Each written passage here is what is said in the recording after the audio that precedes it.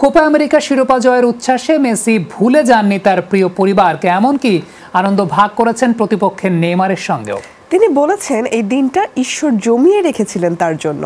আর ইতিহাস বদলে বদলের এই ম্যাচে মেসি খেলেছেন ইঞ্জুরিকে সাথে নিয়ে। এই যেন রেফারির বাসি নয়, হ্যামিলনের বাসিওয়ালা। যে বাসিতে এক নিমিষেই জমে থাকা সব অতৃপ্তি যেন প্রাপ্তি হয়ে পেছনে ছুটল লিওনেল মেসির। মাটিতে বসে পড়লেন মেসি। মেসি প্রথমে মনে করেন তার নিজের পরিবারের কথা। পূর্বে অনেক কষ্ট ভোলার জন্য পরিবারের সাথে দুই তিন দিনের ছুটি কাটাতে যেতে হয়েছে মেসিকে। কিন্তু এই বছর সবকিছুই নাকি অন্যরকম। মাঠে বসে স্ত্রী ও সন্তানদের সাথে শিরোপা উদযাপন করলেন মেসি। স্ত্রী আন্তলেনা রকুজ্জো ইনস্টাগ্রাম পোস্ট করে জানান, তুমি সত্যি ট্রফি দাবিদার। এদিকে শিরোপা জয় ও ফাইনাল হারের আক্ষেপ একসাথে উদযাপন করলেন মেসি ও নেইমার।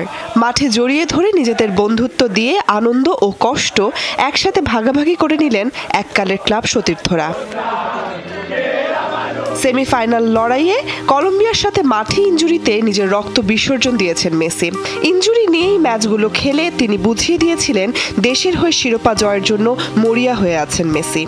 ফাইনালেও লড়তে হয়েছে হ্যামস্ট্রিং ইঞ্জুরির সাথে, তবে কোনো বাধাই আটকাতে পারেনি মেসিকে। তাই তো মেসির কথা, ঈশ্বর তার জন্য এই জয় জমিয়ে রেখেছিলেন।